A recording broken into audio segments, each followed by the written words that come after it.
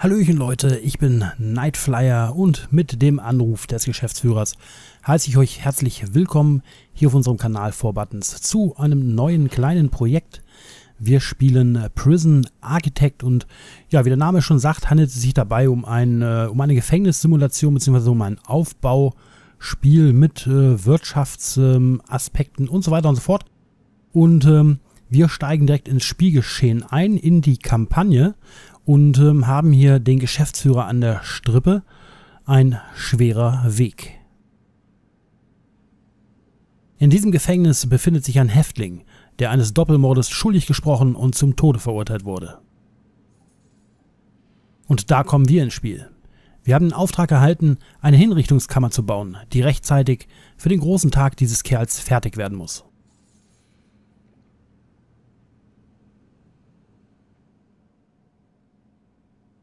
Hier soll die neue Anlage gebaut werden. Wie bei jedem Projekt müssen wir zuerst das Gebäude bauen, mit ausreichend Platz für einen Hinrichtungsraum und eine Verwahrungszelle. Legen wir los, bauen Sie hier ein neues Gebäude. Wir brauchen auch einen Eingang für die neue Hinrichtungsanlage. Bauen Sie eine große Gefängnistür in die Südwand ein. Ja, und da geht's auch schon los. Wir haben den Auftrag bekommen, hier diese Hinrichtungsanlage zu bauen. Und ähm, ich habe vorher schon mal ganz kurz reingeschnuppert in das Spiel, um mich ein bisschen mit der Steuerung vertraut zu machen. Und deswegen legen wir direkt mal los und bauen erstmal das Fundament. Und dann nehmen wir hier das gemauerte Gebäude. Dazu ziehen wir hier einen Rahmen auf. Und das Fundament ist nun in Arbeit. Und wir bekommen den nächsten Anruf.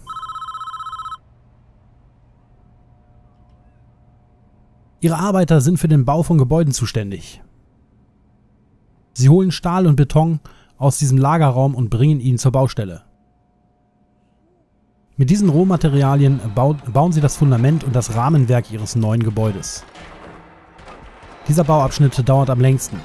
Deshalb sollten Sie beim Bau von neuen Anlagen vorausplanen.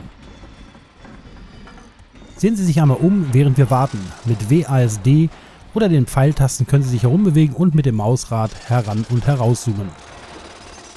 Ja, genau das machen wir mal. Zoomen funktioniert. Und äh, wir können auch mit der mittleren Maustaste äh, scrollen. Und wir fangen mal hier oben an. Da haben wir einen Zellenblock.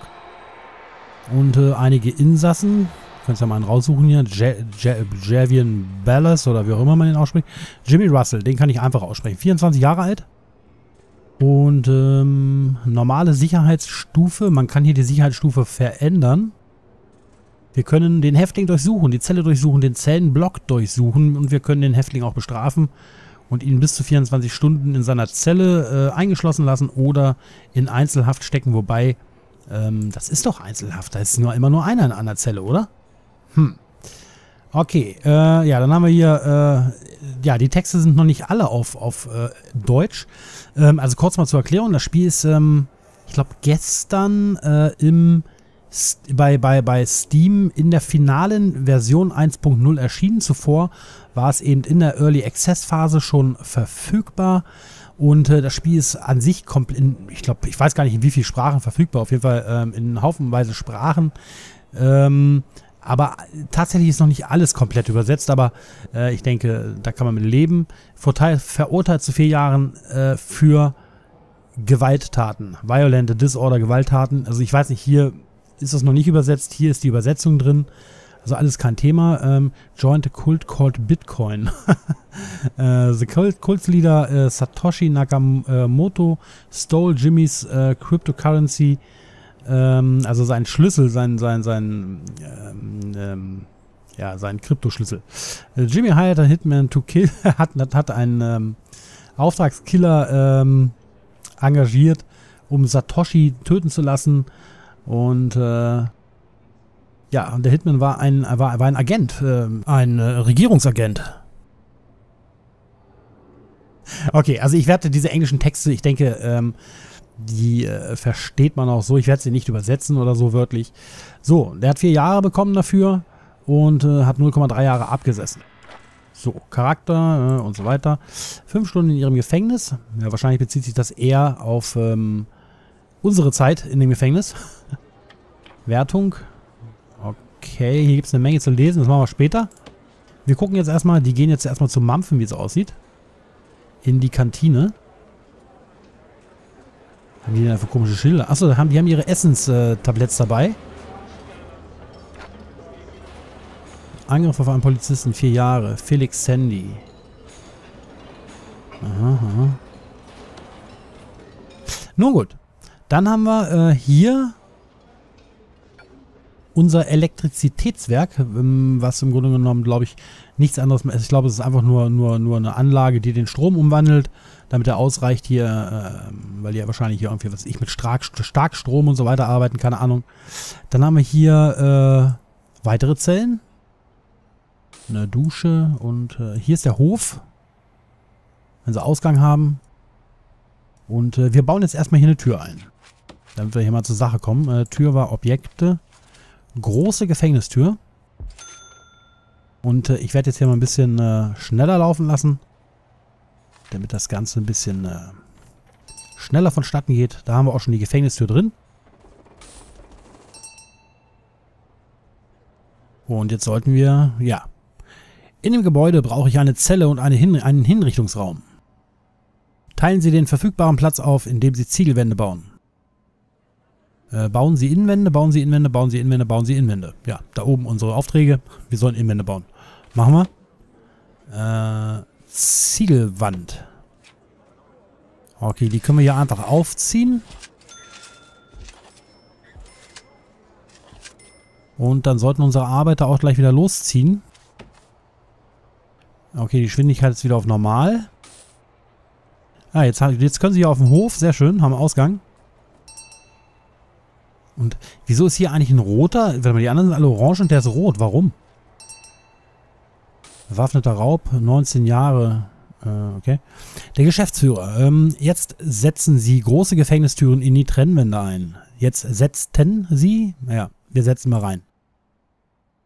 Sie können ein Objekt drehen, bevor Sie es platzieren, indem Sie entweder die mittlere Maustaste oder R drücken. Machen wir. Innentüren. Da sollen wir auch wieder die große nehmen. So, einmal gedreht. Und äh, wieder auf hohe Geschwindigkeit. Ich finde das ganz gut, dass er das automatisch wieder runterstellt, denn ich äh, vergesse das ganz gerne mal. Das sieht gut aus. Jetzt müssen wir mit dem vorhandenen Platz, äh, müssen wir dem vorhandenen Platz Räume zuweisen. Weisen Sie dem kleineren Bereich eine Zelle zu, in der der Verurteilte wohnen wird. Okay. Dann weisen Sie dem größeren Bereich den Hinrichtungsraum zu. Okay, die Zelle erstmal. Da haben wir sie. Und da brauchen wir auch nur wieder einen Rahmen aufziehen. Und das gleiche beim Hinrichtungsraum. Und damit wäre auch das erledigt. Für die neuen Räume müssen Voraussetzungen erfüllt werden, bevor sie in Betrieb ne-, genommen werden können. Die Zelle braucht ein Bett und eine Toilette. Der Hinrichtungsraum braucht einen elektrischen Stuhl. Ah. Okay, bauen Sie ein Bett, Toilette und elektrischen Stuhl. Das kriegen wir hin. Da ist das Bett schon. Und da die Toilette. Die müssen wir drehen. Ja. Und der elektrische Stuhl. Und ich habe gesehen, das Spiel ist auf jeden Fall auch moddingfähig und im äh, Steam Workshop habe ich auch schon äh, einiges gesehen. Ähm, da könnte einiges auf uns zukommen, sag ich mal. Allerdings weiß ich aber auch noch nicht genau, inwiefern das hier ein reguläres Let's Play wird. Ähm, wir werden auf jeden Fall erstmal die Kampagne spielen. Und äh, dann haben wir ja immer noch die Möglichkeit, äh, da komplett ein eigenes Gefängnis aufzubauen und so. Da schauen wir mal. Kann ich jetzt noch gar nicht sagen, wie weit wir da gehen werden. Äh, eingehender Anruf. So, das Nötigste haben wir erledigt, aber Sie könnten noch ein paar Verbesserungen vornehmen. Das bleibt allerdings Ihnen überlassen. Sie werden nicht zwingend benötigt. Alles hängt davon ab, wie sehr Ihnen Ihre Häftlinge und deren Umgebung am Herzen liegen.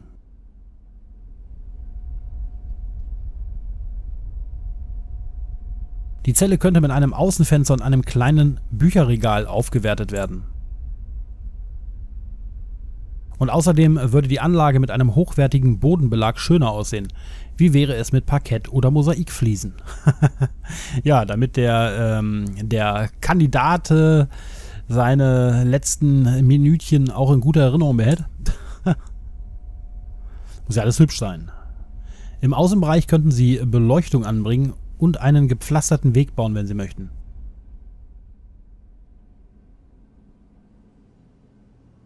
Okay, das ist offenbar unser Kandidat und der Pfaff ist auch schon da. Das ist der Mann, Edward Romsey, ehemaliger Lehrer. Kaum zu glauben. Es liegt nicht an uns, zu entscheiden, ob er diese Strafe tatsächlich verdient hat. Das Gesetz hat diese Entscheidung gefällt. Unsere Aufgabe ist einzig und allein, unsere Arbeit zu erledigen. Wenn Sie zufrieden sind, ist die Anlage einsatzbereit und Sie können den Häftling in seine neue Zelle überführen. Klicken Sie einfach ein Polaroid in seiner Zelle an, um mit der Überführung zu beginnen. Ja, und äh, da haben wir das äh, Polaroid. Machen wir jetzt allerdings noch nicht. Wir wollen die optionalen Aufgaben noch erledigen. Und äh, das machen wir mal, indem wir ähm, loslegen und äh, erstmal ein Fenster einbauen. Unter Objekte finden wir das. Fenster. Das bauen wir dahin. Dann brauchen wir äh, Bücherregal. Können wir dahin tun? Dann... Ne, äh, so. Bücherregal. Wir lassen gleich mal schnell laufen hier. Bauen Sie einen hochwertigeren Bodenbelag ein. Bauen Sie einen Weg zur neuen Anlage. Okay, Bodenbelag, Materialien. Gehwegplatte, das ist wahrscheinlich für den Weg. Den ziehen wir einfach mal hier vor.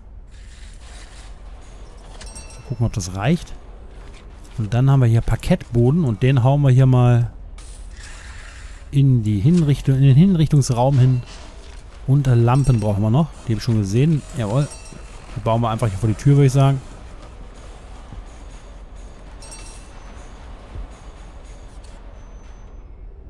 Ja, schick. Haben wir gut hingekriegt, glaube ich. Alles erledigt und wir können jetzt auf das Polaroid klicken und dann geht's weiter. Aber erstmal will ich nochmal gucken hier, wie es jetzt aussieht hier. Man kann ziemlich heftig reinzoomen, das ist schon ziemlich cool. Und äh, wir suchen unseren Kandidaten.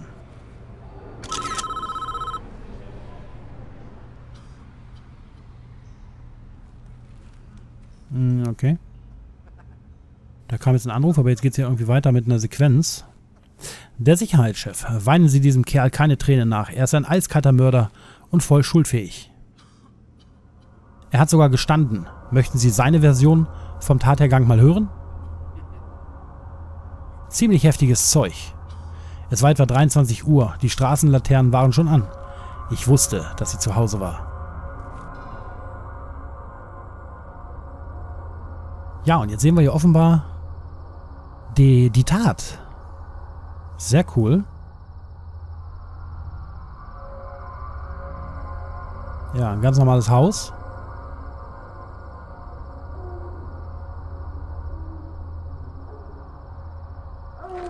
Oh oh. Oh oh. Hm.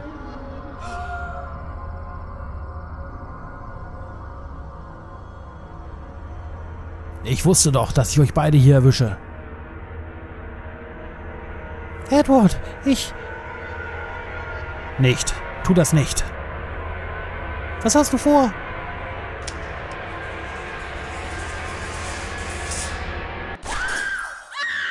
Tot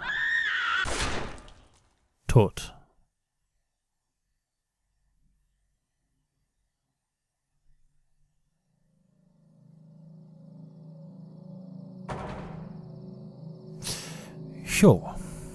So war das also. Seine Frau hat ihn betrogen und er hat äh, seine Frau und den Nebenbuhler ja, beim Geschlechtsakt erwischt und beide erschossen. Super. Der Klassiker.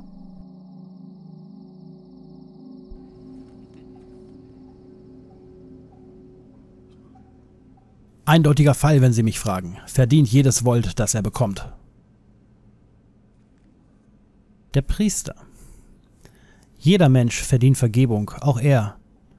Sind Sie sich Ihrer selbst so sicher, dass Sie solch ein endgültiges Urteil vollstrecken können? Seine Frau mit einem anderen Mann zu erwischen, ist keine Entschuldigung für das, was er getan hat. Und er hatte eine geladene Waffe dabei, weil er wusste, dass er die beiden zusammen vorfinden würde. Das ist gleich doppelter geplanter Mord. Er hat nach bestem Wissen und Gewissen mit den Behörden kooperiert. Dieser, dieser Staat statuiert ein Exempel an ihm.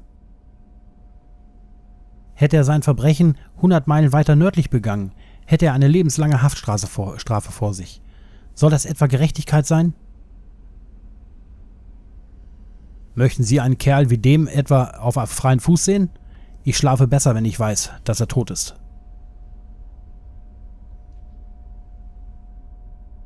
Ja, und jetzt äh, wird er da offenbar in seine Zelle geführt und jetzt ruft der Geschäftsführer an.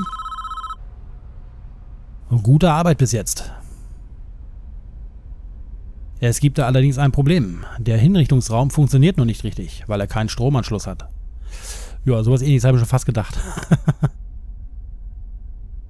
Wir müssen ihn an die Stromversorgung anschließen. Auch das habe ich mir gedacht.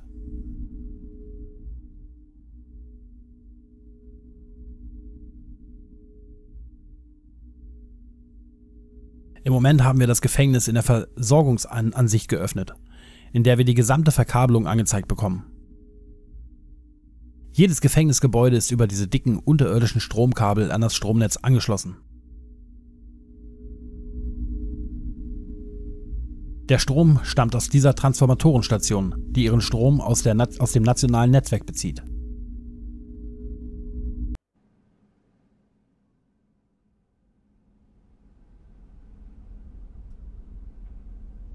Wie Sie sehen, ist dieser gesamte Zellenblock, äh, Zellentrakt ohne Strom.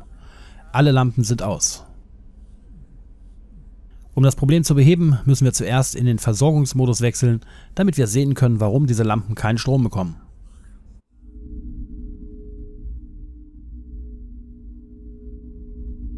Die nächsten Stromkabel sind zu weit entfernt. Unsere Ingenieure können diesen Bereich nicht verkabeln.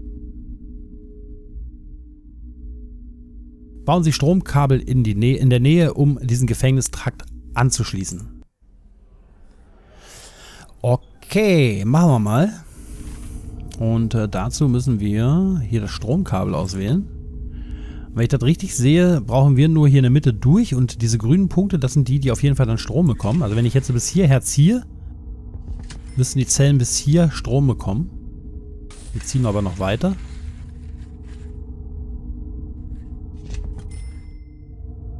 Und äh, nun hier runter, würde ich sagen. Und lassen das Ganze ein bisschen schneller laufen. Und äh, meine Stimme ist heute irgendwie ein bisschen im Eimer. Dafür ein großes Sorry. Ich bin ja äh, schon ein bisschen am Kämpfen mit meiner Stimme. Ich weiß gar nicht, was los ist.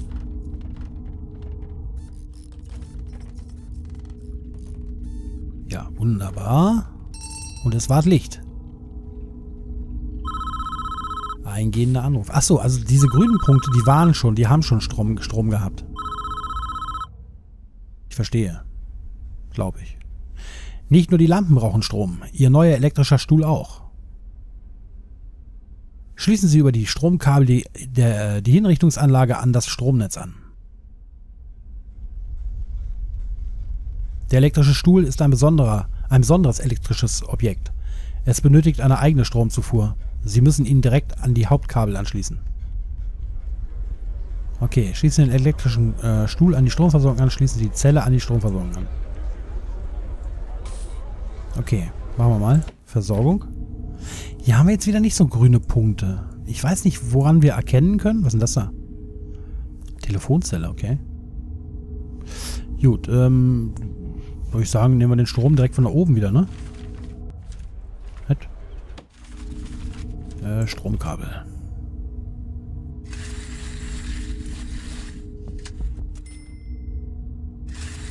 Können wir auch hier einfach durch? Weiß ich gar nicht. Probieren wir mal aus, oder? Gehen wir hier so in der Mitte. Dann gehen wir hier, hier so durch. Mal gucken, was passiert. Mal ein bisschen schneller laufen lassen. Aber normalerweise sollte das ja gehen, ne? Dann können wir eigentlich auch theoretisch direkt von hier nach da. Und damit sollte dann auch der Stuhl angeschlossen sein. Ja, hier ist der Strom schon da in der Zelle. In dem Raum auch fehlt nur noch der elektrische Stuhl. Ja, und auch der hat Strom. Wunderprächtig. Eingehender Anruf. Wir sind fast fertig, glaube ich. Wir sollten den neuen hin, hin Wir sollten den neuen Hinrichtungsraum aber zumindest einmal testen, bevor wir ihn in Betrieb nehmen. Ich werde den Strom für ein paar Sekunden einschalten, um zu sehen, ob alles in Ordnung ist.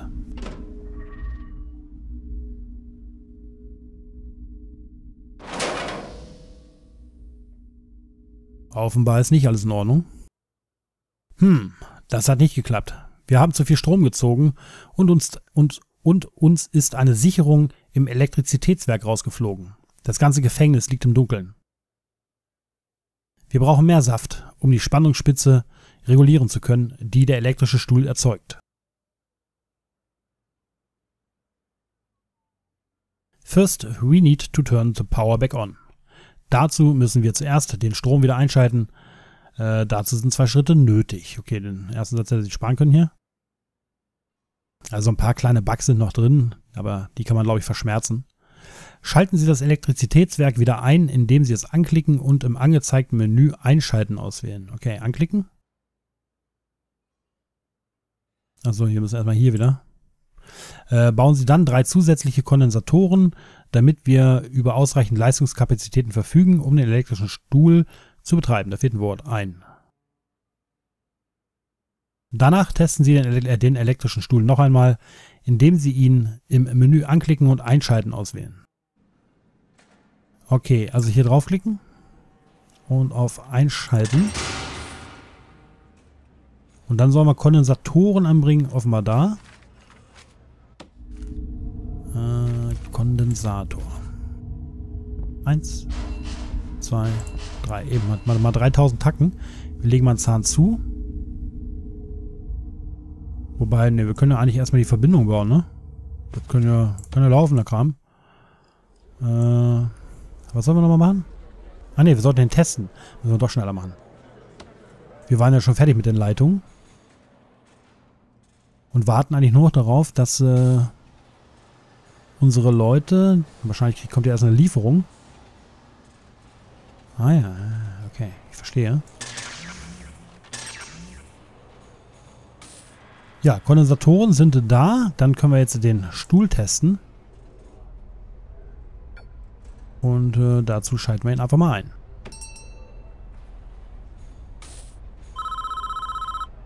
Ja, und der Geschäftsführer äh, ruft auch direkt wieder an. Sehr gut. Ich glaube, jetzt sind wir fertig. Alles, was jetzt passiert, haben wir nicht mehr in der Hand. Wir haben unsere Aufgaben professionell erledigt und darauf kommt es in unserem Geschäft an. Denken Sie nicht zu viel darüber nach, was jetzt geschieht.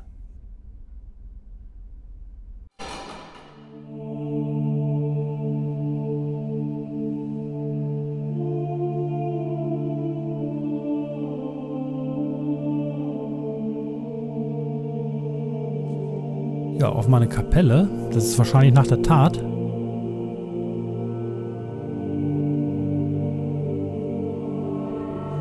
Und offenbar will unser Täter mal eben beichten gehen.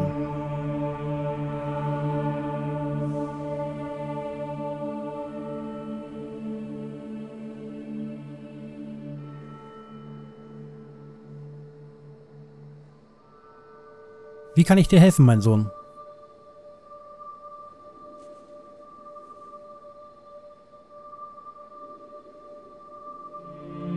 Suchst du nach Vergebung?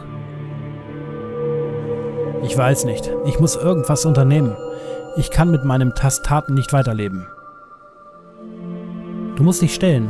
Was immer du auch getan hast, du wirst dafür die Konsequenzen tragen müssen. Du kannst dir erst wieder ins Gesicht sehen, wenn du dich deiner Vergangenheit gestellt hast. Ich will das alles ungeschehen machen. Ich, ich will ihr vergeben. Ich will, dass sie mir vergibt. Gott wird dir vergeben, mein Sohn. Was immer du auch getan hast, du musst ihn nur darum bitten. Aber du musst dich für deine Taten der Gerechtigkeit stellen. Es gibt keinen anderen Weg.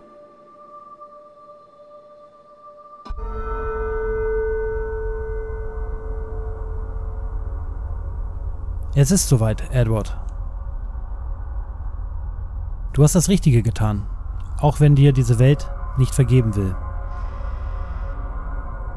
Bald wirst du bei Gott sein und er wird das letzte Urteil über dich sprechen.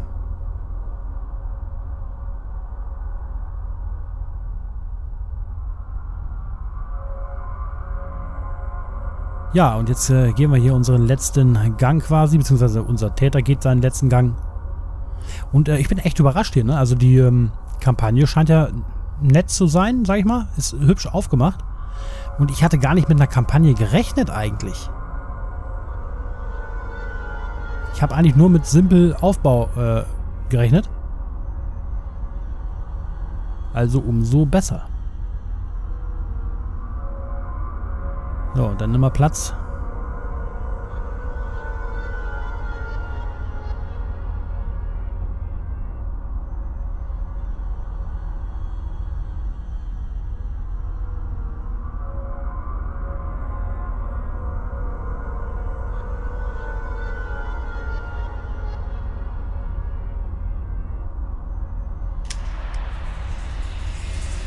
Da ist unser Henker.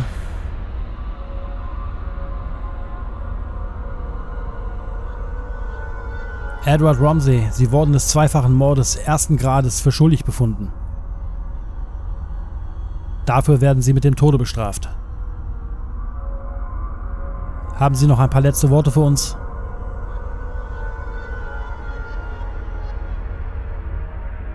Susan. Es tut mir leid.